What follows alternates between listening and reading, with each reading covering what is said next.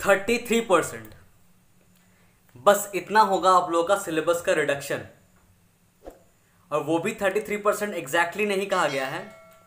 एक बैरियर दिया गया है रेंज दिया गया है। कहा गया है twenty five to thirty three percent reduction होगा सिलेबस में। पता नहीं अब इससे आप लोगों को फ़ायदा होगा कि नहीं होगा। ऊपर से जो आ, मीटिंग हुआ है उसमें यह कहा गया है कि चैप्टर एक भी रिडक्शन नहीं होगा। फुल चैप्टर एक भी नहीं हटाया जाएगा। मतलब हम लोग क्या सोच रहे थे कि थर्टी थ्री परसेंट रिडक्शन होगा तो उसमें से फिफ्टी समझ लीजिए, आपका दस चैप्टर अगर है, उसका थर्टी थ्री परसेंट रिडक्शन हो रहा है। थर्टी परसेंट मान लीजिए। तो सेवन चैप्टर्स आप लोगों को पढ़ना है, तीन चैप्टर हट जाएगा पूरा पूरी। तो कुछ बच्चे डर रहे थे कि पूरा पढ़े कि नहीं पढ़े अभी से? जो चैप्टर पढ़ रहे हैं फ़र्स्ट दो तीन चैप्टर ही गायब ना कर दे कहीं। तो एक डर डर का माहौल था कि कहीं जो पढ़ रहे हैं वही ना हट जाए। तो कुछ लोग इंतज़ार कर रहे थे कि आ ही जाने देते हैं रिडक्शन इन सिलेबस क्या हो रहा है, नहीं हो रहा, उसके बाद पढ़ना स्टार्ट करेंगे। पर अब आपको हर एक चैप्टर पढ़ना है, पढ़ने लग जाइए।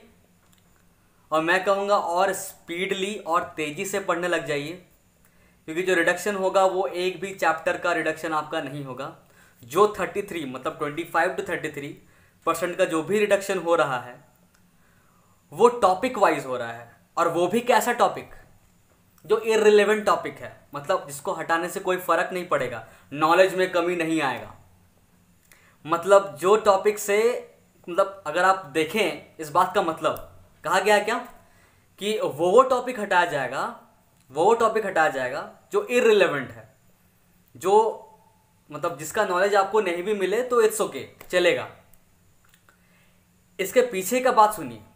इसके पीछे का बात यह है कि अगर इरिलेवेंट टॉपिक है तो उस टॉपिक से क्वेश्चंस भी कम आते थे पहले भी।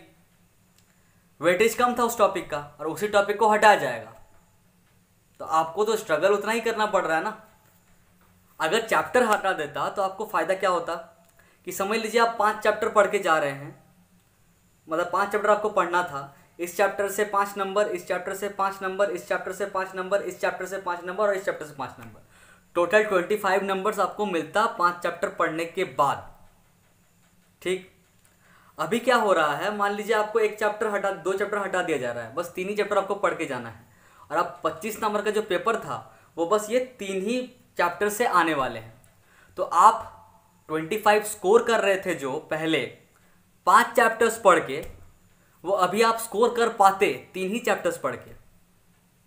पर, वो लोग क्या कर रहे हैं सीबीएसई वाले क्या कर रहे हैं, कि चैप्टर्स एक भी नहीं हटा रहे हैं, अब इस पाँच चैप्टर्स में से वो वो टॉपिक्स बट बस हटा दे रहे हैं, जो टॉपिक रिलेवेंट था, जिससे क्वेश्चन ऐसे भी नहीं आता था।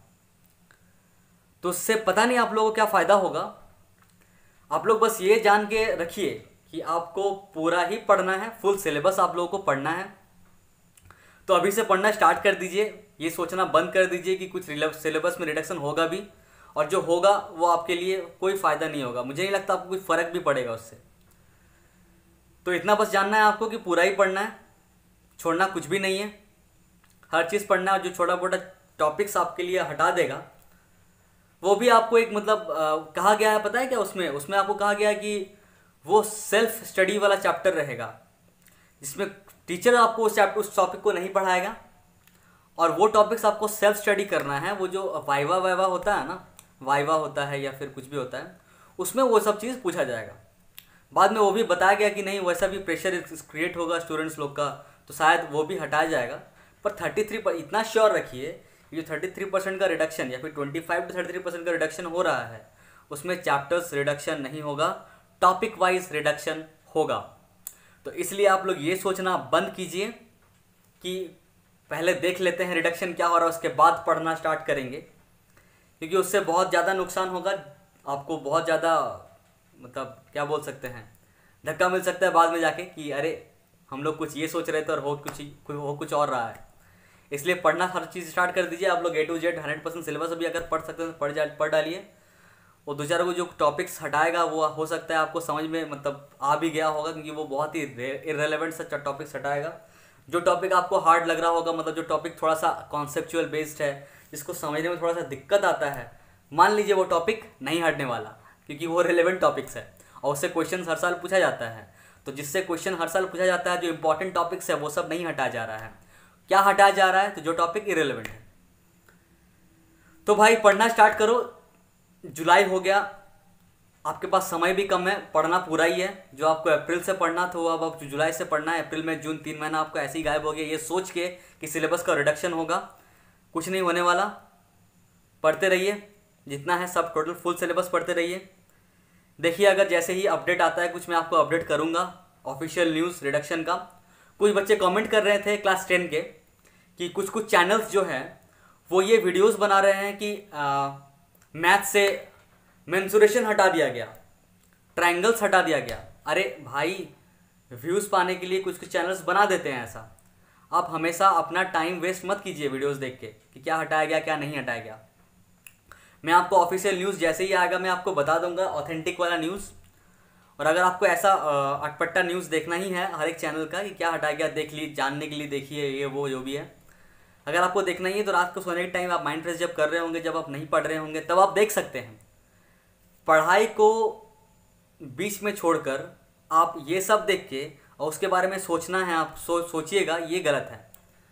मतलब आपको पढ़ाई में हम, पढ़ाई को हैम्पर नहीं करना है उस वीडियोज़ के चक्कर में, उन लोगों के वीडियोज़ के चक्कर में।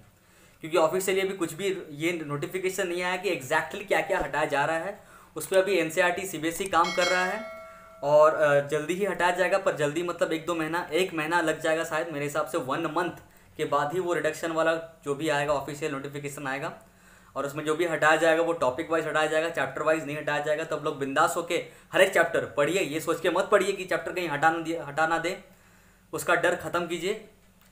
और जो एक और प्रपोजल आया है मतलब बात चल रहा है, जो मीटिंग में बात चला है, वो है कि क्वेश्चन का पैटर्न जो होने वाला है 2021 में, वो पैटर्न में रिडक्शन पैटर्न का, पैटर्न में चेंजिंग आएगा। क्या चेंजिंग आएगा?